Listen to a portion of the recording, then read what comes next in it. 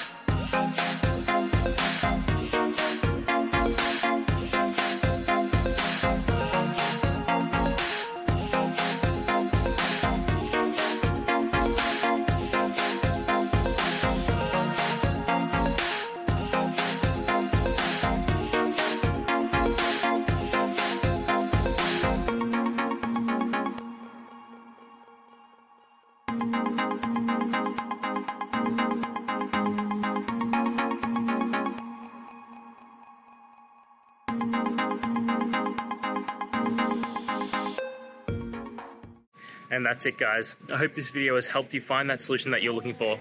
If it did, please hit the subscribe button. I'd really appreciate it. And until next time, I hope you have a good one.